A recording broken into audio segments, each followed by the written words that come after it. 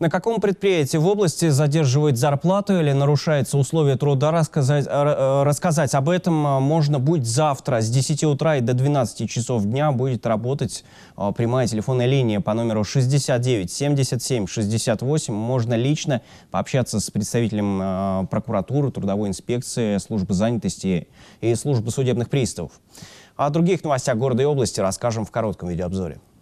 Нет счетчиков, выше тариф. Закон о повышении платежной инициативы во втором и третьем чтениях утвердили накануне депутаты Госдумы. Документ предусматривает повышенный коэффициент для тех, кто дома пользуется водой, газом и электричеством, но счетчики не устанавливают. Депутаты считают, что этот закон поможет бороться с россиянами, которые сдают квартиры в аренду, при этом не указывая, сколько человек там реально проживает. Добавлю, что окончательно документ еще не принят.